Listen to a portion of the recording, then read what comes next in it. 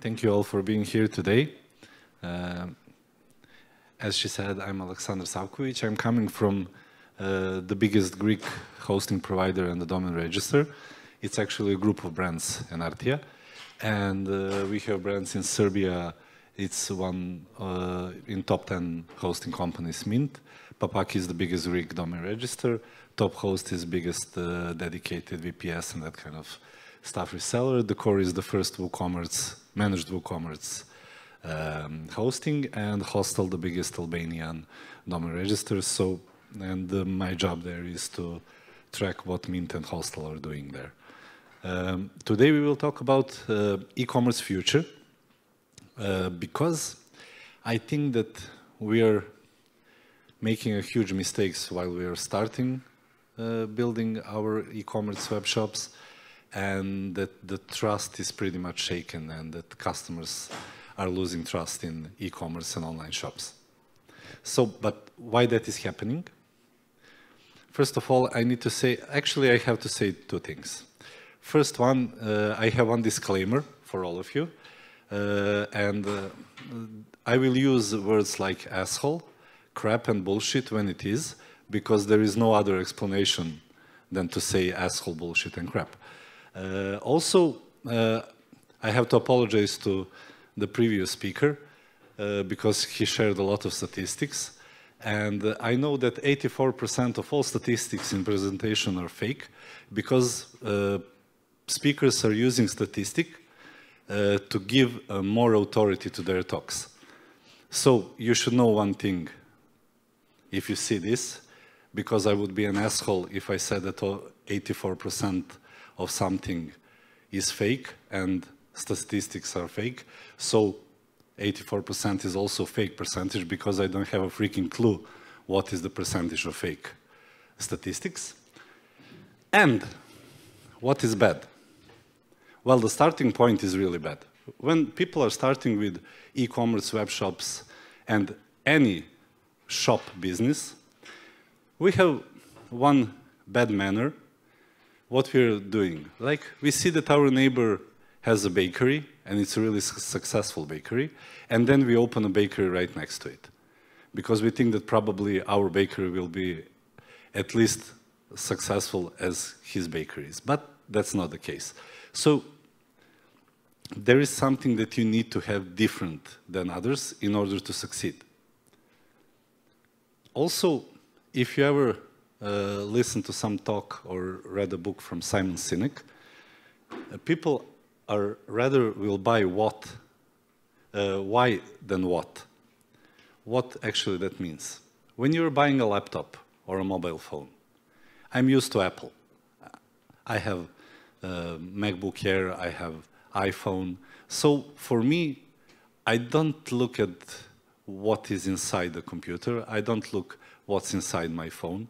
So I don't care about processor, about the graphic card. I only care that it's Apple. And probably for the lesser price, I could find some Lenovo or some Asus or Acer or whatever with better configuration and better hardware, but I will go with Apple because I'm buying why, not what. I'm not buying a laptop. Next thing, very important, is to discover what is your competition, not who. There was one great example from Dan Olsen in a book, uh, Lean Product Playbook. You can find it online as well on Amazon. Um, he, he's actually advisor for uh, big companies creating softwares, products, and that kind of stuff. And there was a company in US, they were creating software for uh, submitting your tax report every year, personal tax report. And in US, it's a big deal. They're keeping every invoice they paid, uh, paid something, all receipts, everything they keep, uh, so they can deduct that amount from their tax at the end of the year. And uh, they created a software to do that, to make your life easier, less miserable, because you're doing that every day. And what they did, they discovered that there are two companies, two softwares in the US doing the same thing, similar. So they were thinking what to offer more than those two companies to have more users and to take some market share from them. But then Dan Olsen came and changed completely philosophy. because competition hold only 2% of US citizens. 98% of US citizens were using something completely different. So competition was what, not who. Can you imagine what was the competition? The pencil and the paper. 98% of US citizens were using pencil and the paper. And only 2% of US citizens were using any software. So it's not the point to take uh, some customers that already use some software from your competition than to take customers that are not using any softwares. To find a way how to explain to them that it's better to use software than a pen and a paper. Also, shops with unique products are more successful, and now you will say, yes, you just invented hot water. Of course, that shops with unique products will have um, will be more successful. But what you can actually, how you can target some specific groups, which are not specifically for that product. You're not targeting that group of people for the product, but what you offer with that product might target some groups of people, like eco-friendly products, eco-friendly packaging, no child labor in the supply chain, which is very hard, because I believe that today we all have something wearing on us with child labor in supply chain. And let's say recycling. By doing this, you will target some specific groups of people who really, really care about this stuff. And your product is actually the same as all other products on the market. What is, actually this part is the most important one. What is extremely bad? Drop shipping became AliExpress. So you install WooCommerce, you buy a plugin, AliExpress, something drop shipping or whatever, or Shopify, then you connect it with your website, you create account in AliExpress, voila, you're a drop shipper you have a new business, you're a business owner, you're a shop owner, and you, you can rock the world. Number two are fake shops. And number three is elephant sales margins. So I will give you some examples for this. This is Serbian web shop. It's called Ship Gratis RS. I don't care if they will be mad at me because I'm using them as, as an example because they're assholes, so I don't care. And you can see that the price for shoes was 10,120 dinars. It's like 85 euros when you convert it. And there is some huge discount of almost 70% if you buy it in the next six hours. Because they're so cool and they want to give you some huge discount on that pair of shoes. First of all, if you Google Sterling shoes, that brand doesn't exist. There is no Sterling shoes on Google. So they already scammed you, selling you Sterling shoes that doesn't exist, and there was some extremely huge discount only for the next six hours.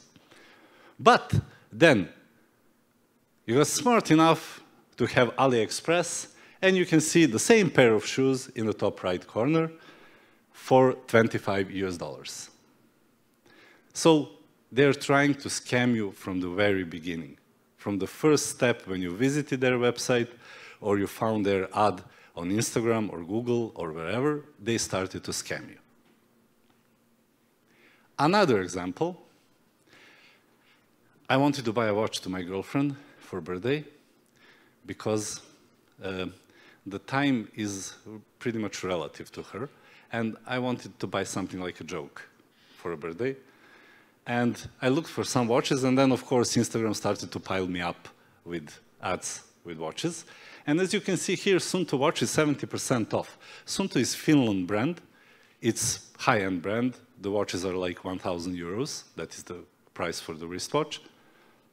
And the name of the shop is Losaline, something. Okay, and uh, I'm always clicking on these buttons, learn more, because you're spending their money by doing that, because they're paying per click. So click every time on everything, because you will spending their money. And they don't have enough money to spend if everyone clicks on everything. And then you got redirected for, to the shop lgfo.ml.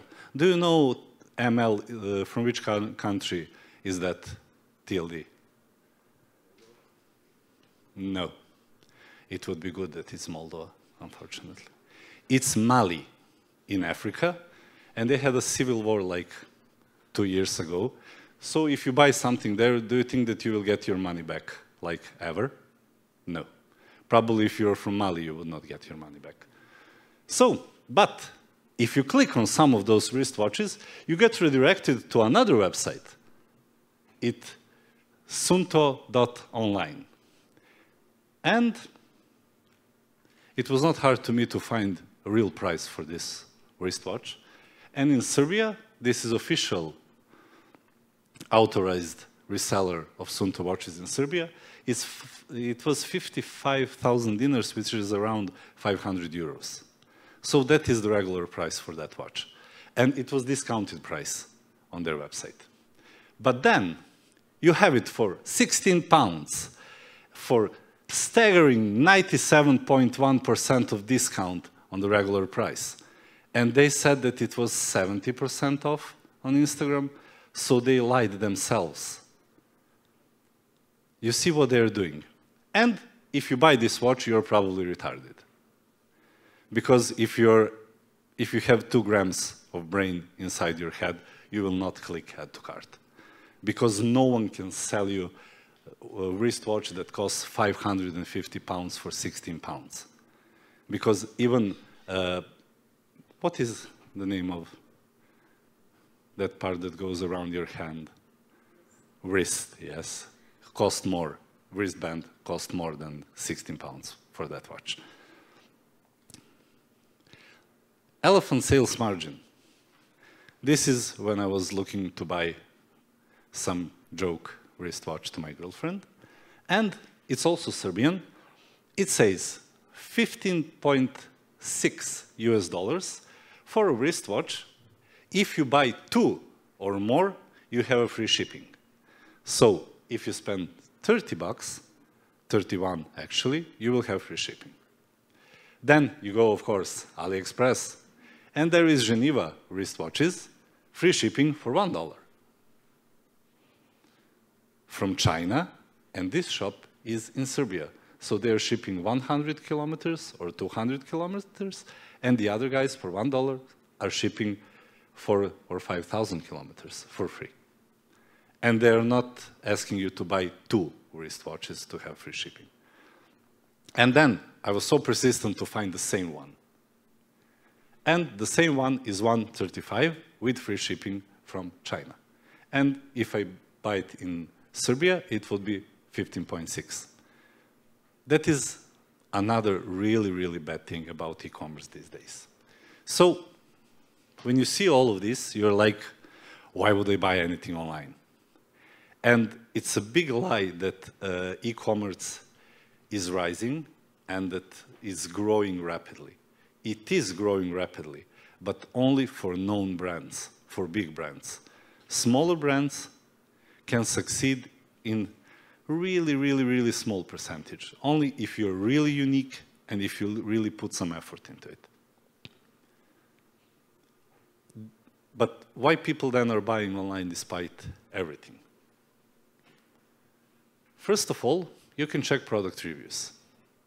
But we need to say that product reviews are also fake because people are mo mostly buying product reviews. And not only uh, on their web shops, they're also buying product reviews for TripAdvisor, for everywhere where you go, you, people are trying to scam you somehow. And then you visit some place that you saw some great reviews and you actually see that the most of them were fake and paid because probably the most of those people who left a review never visited that place. But in that sea of reviews, you might find some that are actually real.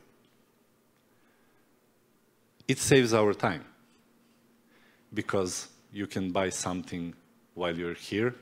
If my talk is boring to you, you can search something and buy something online. You can compare prices in different shops. This is especially important for bigger brands. So if you're buying something known, like let's say LG TV, you can see in many different shops the price, compare prices, and find uh, the least price and something that is closest to you to buy it. Wider selection. There is one great thing in Greece. It's called Skroutz, GR. It's a website uh, where you connect your e-shop to. You're paying like 500 or 600 euros yearly. They are taking care that you're real, that you're not fake.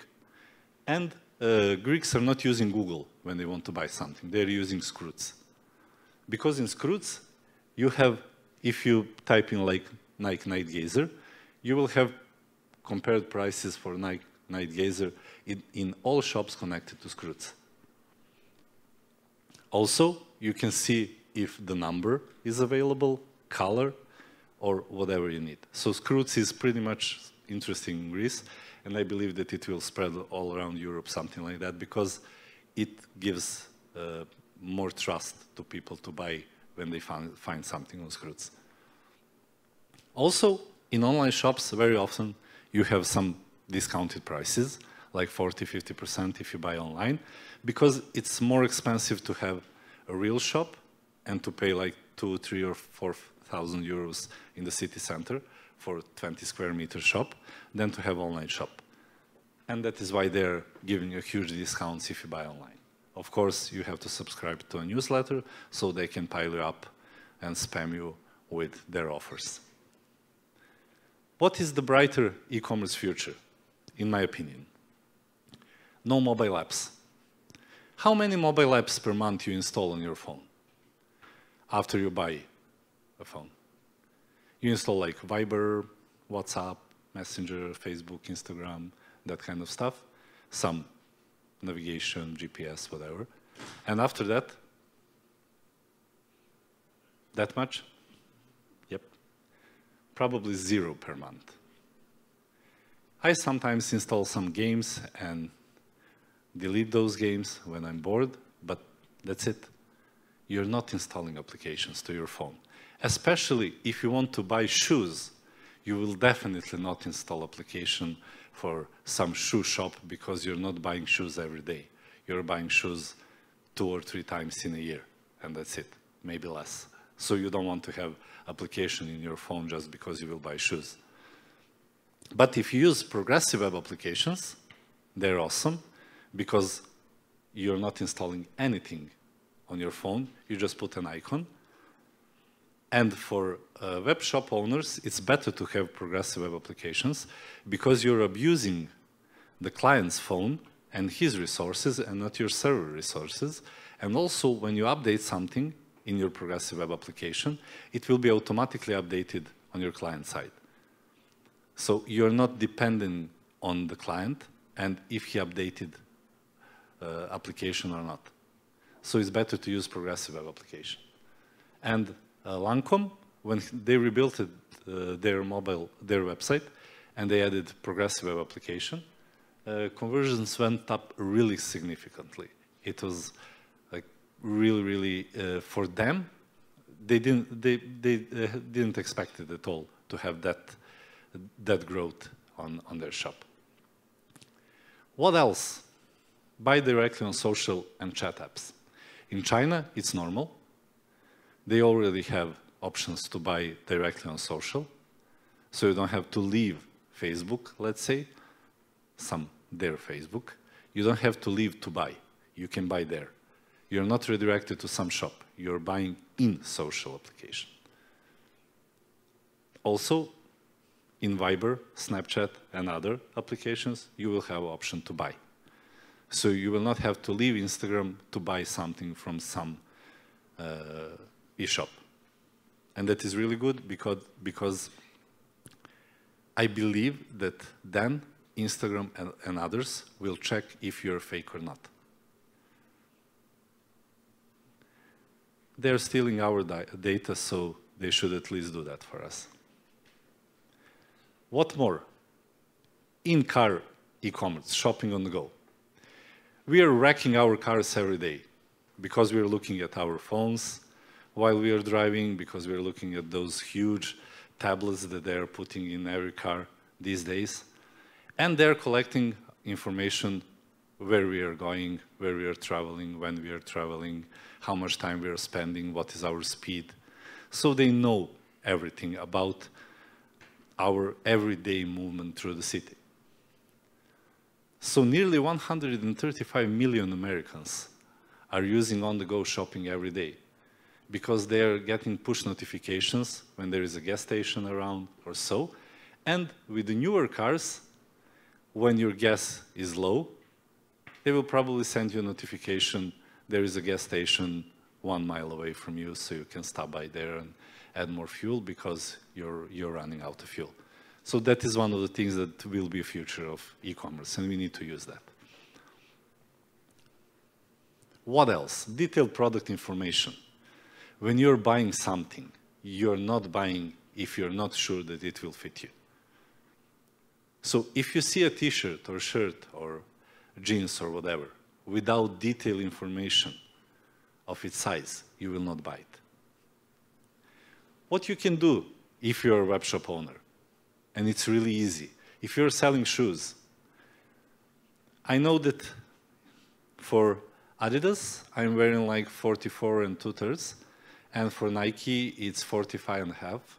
So there is a difference. But you know that there is a difference, so you can compare your shoes with Nike and Adidas. And you can say, if you're wearing Nike 45, you should probably go with 44 and a half with our shoes because our shoes are bigger. That way people will know what to buy. Otherwise, when you see some shoes, some brand that is not that on, or maybe you never wear some that brand, maybe it's famous brand, but you were never wearing it before, you, uh, it's 10 times easier for your customer to find uh, size by matching it with something that is really, really known and everyone is wearing. Augmented reality, it's so easy. You have it on your iPhone. You have that measure application that is measuring Uh, in centimeters if you want to see how big something is. And there is one application, Diamond Edge. They built an application where you can see how ring looks on your finger. And you can check the size, the size of the diamond, you can check, you can change the shape of the ring, and you can see how it looks on your hand. And both, you will get a size. What is the size of the ring that you should order? Also, Gap. It's famous brand. You add your height, weight, your body type, and then when you pick the size, small, medium, or, large, it actually shows you how it will look on your body. It's easy as that. Augmented reality is not something new. It's not high tech. It's easy to build. Disrupt or die. First of all, diverse sales and support teams. Why? Because I would probably rather buy something from, for, from someone who is similar to me and who has similar interest like me. But you can lie. Do you really think when you contact support from some big brand that some Michael actually responded to you or some Eric? Does it have to be the name of that person who is chatting with you? Probably not. Well, in 99% it's not. Because the big companies are mostly using cheap labor for support, and those people are not Michael, Eric, and John. Those people are mostly from China, India, some uh, less developed, undeveloped countries like Serbia, my country or so. And then you can see that they're using names, and you see when you see that English that they're typing, that they're not native English speakers. But you can lie your customers and they will feel better. They will know that you are lying, but they will feel better. Limit artificial intelligence and hire humans because people like to talk to humans, not to robots and machines. What I hate the most is intercom. When there is a chat and I start typing in chat, how to create a backup and it offers me FAQ, uh, frequently asked questions to check there. If I wanted to read your article about how to create a backup, I would do it earlier. I would not contact your support and I would never open that chat box. So I don't want to waste time and read, I don't know, this big article. Just tell me where to click and that's it. But they're uh, pushing you in three or four different steps before you can actually chat with an agent. And that is stressing customers, and probably the most of the customers will just leave that chat and leave your product. Why hiring humans, humans is good? Have you heard about Zappos? Do you know what, what Zappos is? It's the big company from Europe. And what they did one year, their customer loyalty team sends out nearly 13,000 greeting cards, but they were written by hand. Not printed and posted, written by hand. All of their employees working in cities where they have loyal customers, they took postcards and bring them on the door, ring on the bell and said, hi, I'm from Zappos, this is our postcard. We are uh, want to say thank you for being our loyal customer. That is that human relations. And that is the future of e-commerce and I think future in general because people will, will start getting sick of artificial intelligence and that kind of stuff communicating with robots because we are not communicating with robots. Use your customers as a salesperson, word of mouth, I again invented hot water. People also buy from people they trust and they trust people they like. So if you're buying WordPress theme, an example, or a plugin, you will probably ask someone from Slovakian WordPress community. Because you trust those people, they're from the same group as you are, they're similar to you, and of course that you will trust them. And if they give you an advice, you will probably go and buy something that someone from Slovakian WordPress community um, suggested. So the brighter e-commerce future is definitely trust. The trust is shaken because of all these scams, spamming, stealing our data. Um, you know what happened once? You know that they're recording actually your voice messages in uh, chat applications and they're actually doing marketing uh, according to those voice messages. Uh, me and my girlfriend, we are communicating. Mostly I record voice messages. I'm, I'm not typing.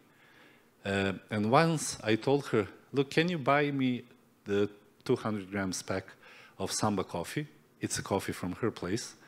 Um, and bring it when you're coming. And she was like, yeah, okay. I visited Instagram tomorrow and there was an ad Samba coffee. So how? I never, ever, nowhere typed Samba coffee. The only place when I mentioned Samba coffee anywhere is a voice message that I sent to her over Viber. So if they say they are not stealing and not listening our messages, they're lying because they are. So we need to build more trust somehow. I don't know how. I gave a couple of examples how. You should figure out the rest.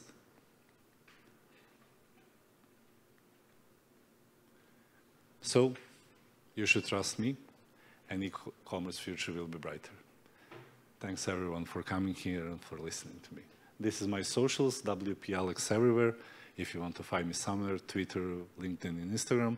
I'm not an asshole. I'm following back if you follow me. So please do. Thank you all.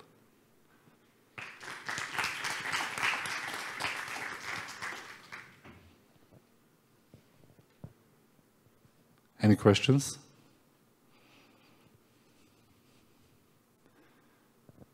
Nope.